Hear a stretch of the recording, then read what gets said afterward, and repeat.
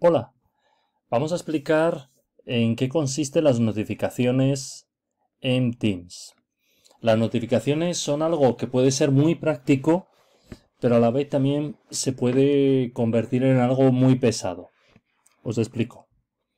Normalmente, eh, cuando nosotros creamos una clase, lo normal es que cada vez que alguien, si lo dejamos abierto, escribe una nueva conversación, automáticamente nos llegará un mensaje de correo.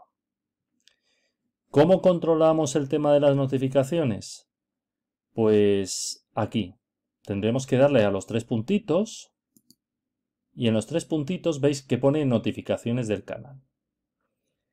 Podemos, yo recomiendo lo primero personalizarlo.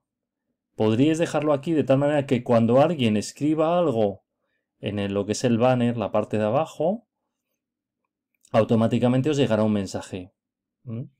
¿Esto para qué viene bien? Pues para, para mantener, por ejemplo, si queréis esa comunicación con los alumnos, pues esto lo podéis activar. Eh, lo podéis activar tanto en el grupo general, lo que sería el canal general, como en los canales que creéis. Esto es importante, ¿vale? Por eso se llama notificaciones del canal. Bien, eso es una opción. Y luego, una recomendación que yo hago es que, por ejemplo, todos mis alumnos, cuando yo creo un grupo, lo que tienen que hacer tanto en el móvil, porque ellos a lo mejor lo tienen en el móvil, como aquí, es que activen las notificaciones del canal. ¿Por qué?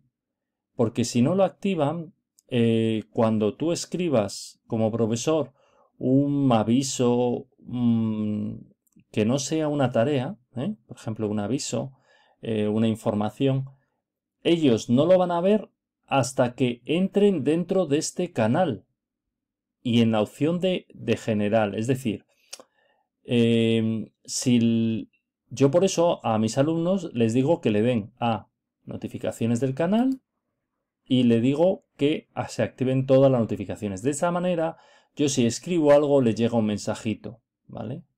Eso es importante. ¿Qué hacemos como profesores a veces si tenemos un canal de mucha actividad o que están, nos llegan siempre mensajes? Bueno, pues a lo mejor podemos desactivarlo.